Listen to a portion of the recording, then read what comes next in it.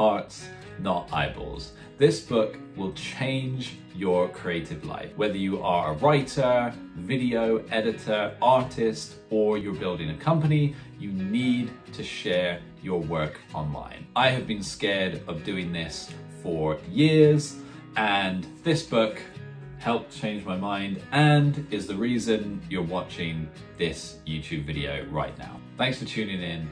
In this video, you're gonna learn why you need to share your work, how to do it, and what you should be sharing online. The first lesson from this book is that we have to face our fears. So me recording these YouTube videos, putting out information and sharing a lot about myself, the business, about writing is ultimately facing my fears. And what held me back from this for a long time was of course judgment. You know, you fear the judgment from friends, family. For me personally, not so much from strangers, um, but those are the people individually, you know, that know you well, and you worry what they might think about some of the things that you share online. But ultimately, you have to shed the fear of that judgment and push ahead and get your work out there in order to receive all the benefits that will come from sharing what you're doing. Austin puts this really well where he uses, of course, the classic term of the starving artist. And he says, really, the only way to stop being a starving artist and to move past that is, of course, to build an audience. You know, build an audience of people that know you, know your services, know your products, know what you do, and will, of course, then go ahead and buy from you. So, how do you go about building this audience? Well, the second thing that Austin recommends is contributing to the scene. So don't become a spammer. Don't just spam out information about yourself. You have to contribute in a meaningful way. And the example from our perspective is the YouTube videos that I've been creating are there to help writers, authors, you know, and people online now with business and some of the other videos and things that I've spoken about. And it's me giving, you know, there's no expectation of return either. I'm just contributing to the scene. I'm teaching items or things that I know well. And then of course that is my contribution and how I've been building an audience. And the same can be said even if you're on Twitter uh, we'll use that as an example. You don't want to just be posting all the time. You want to actually be responding to questions or jumping in on topics and participating in the discussion. It can't be all one way. It's very much a two-way street when you're sharing online. The third recommendation that Austin has is that amateurs actually hold the advantage online when you're sharing your work. A good illustration of this is I used to play tennis when I was younger and I played from the age of five and I even played semi-professionally so at a high standard. And sometimes people will come up to me and they'll say, hey Patrick, can you teach me to serve? And because it's been so long since I first learned that skill, actually really hard for me to go back and think of a time and explain that motion from ground zero if someone else who was really good came to me and said, what's wrong with my serve? I could say, oh, you need to, you know, adjust where you're standing or maybe raise your racket slightly. You know, I could make some adjustments, but it's hard for me to think back to being a complete amateur. And so amateurs hold the advantage online because you just learned something. You know, this video right here, I've just read this book. So the ideas from the book are fresh.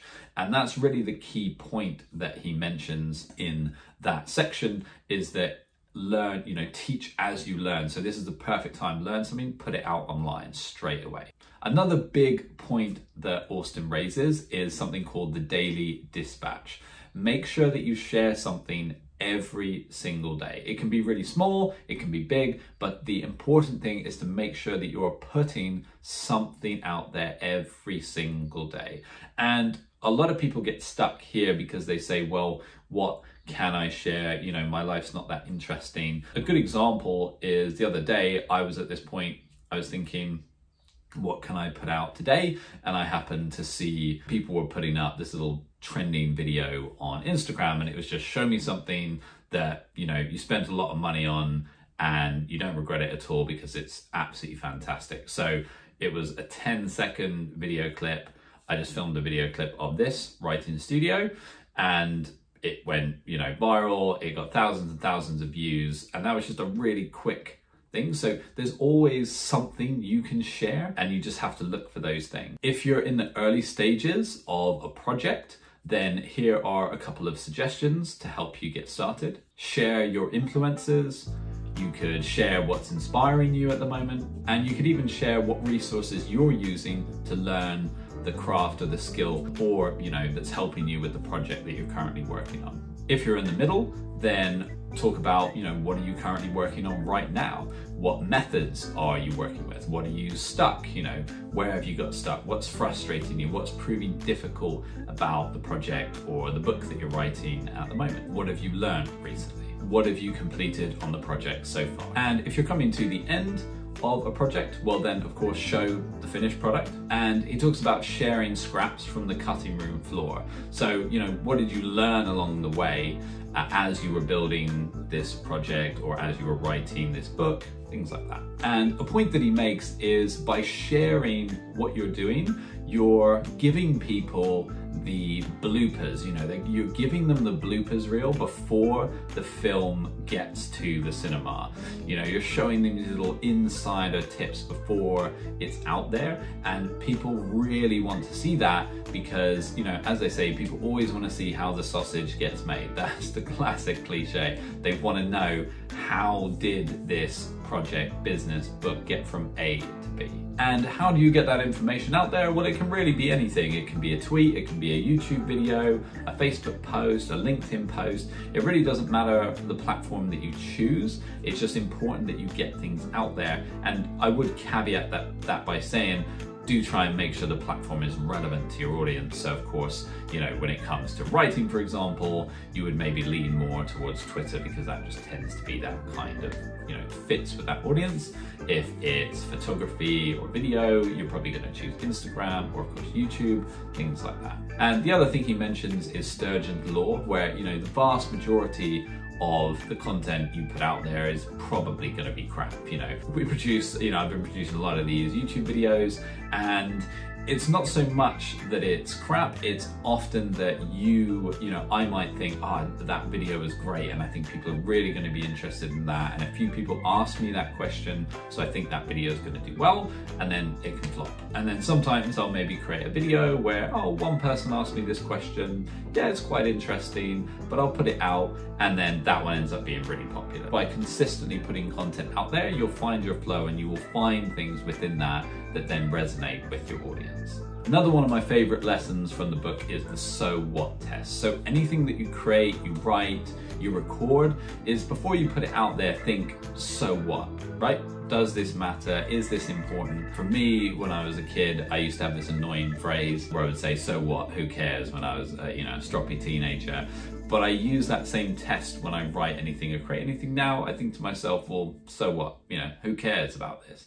And if I can say, oh, this is what's important from it and this is why people care, then I will share that, you know, and put it out there. The other major takeaway from this book is the share your trade secrets. So it's something I've been really reluctant to do. And as I mentioned earlier in the video, judgment has probably held me back from you know, putting videos out there and putting content out there, but also it's really terrifying to share your trade secrets. For me, I suppose lifting the veil on how I built this business comes with concern that someone else will rush in and try and copy the same thing. And Austin, of course, talks a lot about how this fear is perfectly valid, but the fact is that if you've been doing something for, you know, 10 years, then someone can hear how you've done it, but it's still going to take them a long time to get to that level. For example, you could give me a book written by Gordon Ramsay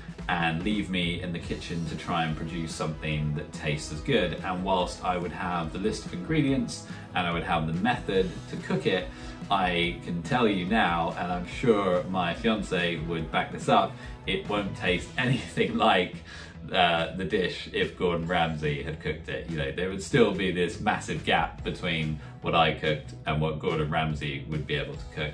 And that's a good illustration of, you know, how chefs will share their trade secrets in these cookbooks, but we still, despite having that, can't cook at the same level that they can. The other lesson from Austin is that you want hearts and not eyeballs. So you want people to care and people to be invested in the content and in your journey. So it's not just enough to get people viewing your content. You could have loads of followers, loads of views, but if people don't care, they're not invested, then it's not going to affect them in any way. And then they're ultimately not going to really follow along and potentially, you know, in the future buy product services um, or just even watch or read more of your content. He also talks a lot about, you know, do they ultimately give a crap about what you're saying, what you're doing, what you're showing.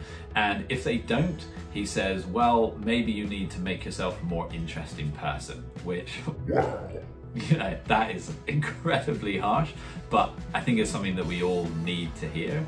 And if people just aren't relating to the content we're producing, then we just need to go away and come up with something that's more interesting, you know. And I take that on board as sometimes, okay, I need to be more interesting. I have to come up with more interesting things. The other important lesson is learn to take a punch, but don't feed the trolls. So he says, you know, accept criticism online, don't run from all criticism. And in these videos on our YouTube, I always say, you know, leave comments, leave feedback. Did you enjoy the video? Uh, is there something else we should have spoken about? Is there another topic? Uh, and I'm open to that kind of criticism. Of course, he says that it can go too far. So where you just get people that are just outright trolls and they're just, you know, saying completely stupid, mean, unnecessary things, then just ignore that. You know, don't get into um, those kind of petty arguments. And, you know, every time I post a video, there's certain groups that I'll share it in and you know 90% of the comments people will say really helpful really useful really enjoyed the video and then there'll always be someone that just replies with you know oh don't tell me what to do about writing I know everything, you're a massive idiot, you know, and they haven't watched the video, they've just made a snap decision. And so those types of trolls and comments, you know, just ignore them. If it's on Facebook, I'll normally just like like the comment anyway, because it's just, okay, whatever, you've got your opinion. So that's what he talks about is just don't feed those trolls, just forget about it. And another key lesson is sell out. So this is one I think a lot of people struggle with is ultimately they feel like they don't want to sell something to their audience even once they have an audience. We romanticize the starving artist, and I know writers in particular do this a lot, but the fact of the matter is life costs money. You know, we have to pay rent, bills, mortgages, and simply things as we know are getting more and more expensive all the time. So it's important that we actually charge for the things that we do and the things that we do well.